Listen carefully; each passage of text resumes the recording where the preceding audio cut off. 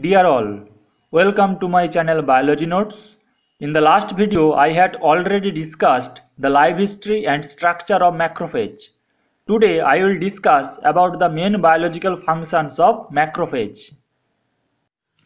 Contents of the video include different biological functions of macrophage like phagocytosis, antigen presentation, wound healing, secretory functions, muscle regeneration, limb regeneration, iron homeostasis, pigment retainment, tissue homeostasis, etc. This is a diagram showing how macrophages and other phagocytic cells help in phagocytosis processes. Before we start the process, we must know what is phagocytosis. In immunology, phagocytosis is one of the main mechanisms of the innate immune defense it is one of the first process responding to infections and is also one of the initiating branches of an adaptive immune response. Macrophages are professional phagocytes and are highly specialized in removal of dying or dead cells, cellular debris and also digestion of pathogens like bacteria, viruses etc. And all this happen by mechanism of phagocytosis. In the first step, macrophages move to pathogen by chemotaxis and the pathogen such as microbes attach to the membrane receptor of macrophages. In the second step, the pseudopodia of macrophage starts to engulf the pathogen. In the third step, macrophage takes the microbe into its cell by making an endocytic vesicle called phagosome. In the fourth step, lysosomes move toward the phagosome and fuses with it, forming phagolysosome. As you know, lysosome contains various digestive enzymes, microbial chemicals, and toxic oxygen radicals which ultimately destroy the pathogen. So, in the fifth step, digestion of ingested microbe by lysosomal enzymes takes place. In the sixth step, residual bodies is formed which are indigestible materials. The last step is the discharge of waste materials from macrophage. So this is a very general mechanism of phagocytosis. This is a diagram showing macrophages act as an antigen presenting cells. Professional antigen presenting cells including macrophages, B cells and dendritic cells present antigens to T cells. Antigen presentations allows for specificity of adaptive immunity and can contribute to immune responses against both intracellular and extracellular pathogens. It is also involved in defense against tumors. To present antigen, the antigen presenting cells require a special type of molecule called MHC molecule or major histocompatibility complex. These MHC molecules are produced with the help of endoplasmic reticulum and Golgi apparatus. When lysosome fuses with phagosomes, the lysosomal enzymes degrade the proteins of pathogens into small peptide molecules.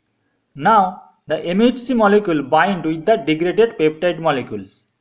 Then, MHC molecules with peptide molecule go to the membrane surface of the macrophage. Then T cell with the help of TCR or T cell receptor bind with the antigen.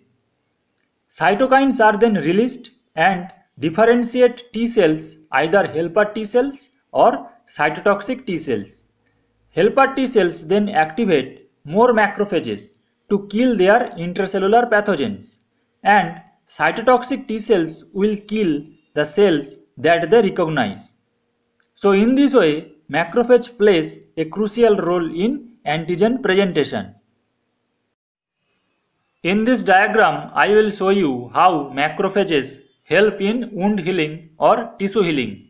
Macrophages and with the association of other cells play important roles in the different stages of wound healing like inflammation, proliferation and maturation or remodeling.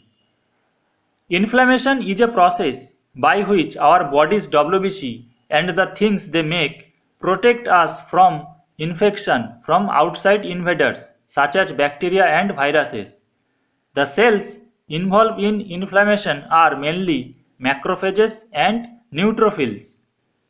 Macrophages give alarms and attracts neutrophils to wound bed, phagocytize bacteria and damaged tissues, and produce cytokines and growth factors.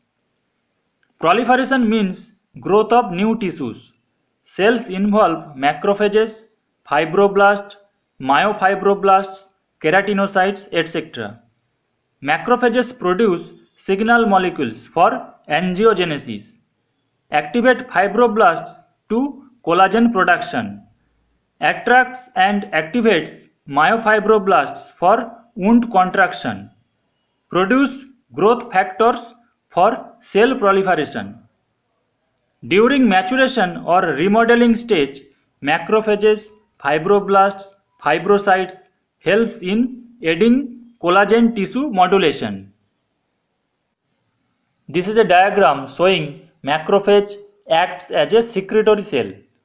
Macrophage produces a lot of cytokines which are a large group of proteins, peptides or glycoproteins and mediate and regulate immunity, inflammation, hematopoiesis, etc. Some important cytokines include interleukin 1, 6, 12, 8, TNF, alpha, GM, CSF, etc. Macrophages secrete a variety of enzymes like lysozyme, acid hydrolases, arginase, lipases, collagenase, elastase, etc.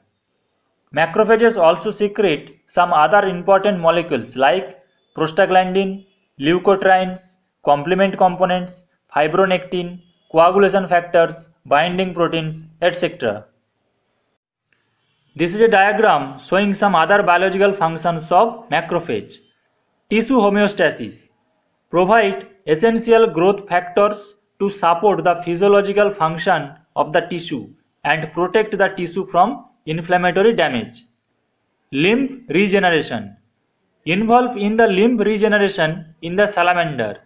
Removal of macrophages result in failure of limb regeneration and scarring response. Iron homeostasis. If systemic iron levels are raised or where inflammation is present, raised levels of hepcidin act on macrophage ferroportin channels leading to iron remaining within the macrophages. Pigment retainment can absorb pigment either native to the organisms or exogenous from extracellular spaces. Only accumulate phagocytosed melanin in lysosome like phagosomes. So this is all about very basic biological roles of macrophages. If you have any query then please write in the comment section. Subscribe my channel and hit the bell icon for notification of new videos. Don't forget to like and share. Stay with us. Keep watching. Thank you.